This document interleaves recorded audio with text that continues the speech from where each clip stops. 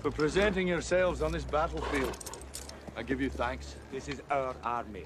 To join it, you give homage. I give homage to Scotland.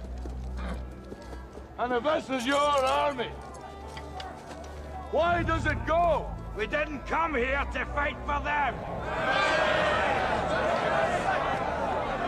Oh! The English are too many.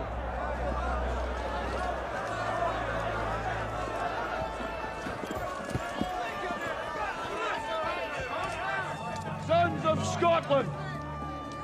I am William Wallace. Oh, William Wallace is seven feet tall. Yes, I've heard. He kills men by the hundred. And if he were here, he'd consume the English with fireballs from his eyes and bolts of lightning from his arse.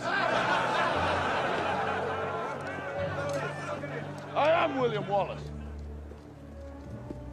And I see a whole army of my countrymen here in defiance of tyranny.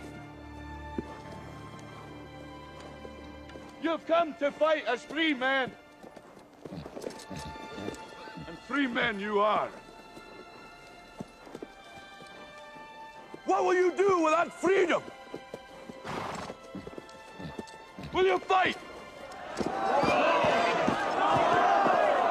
Right? Against that? No! We will run! And we will live.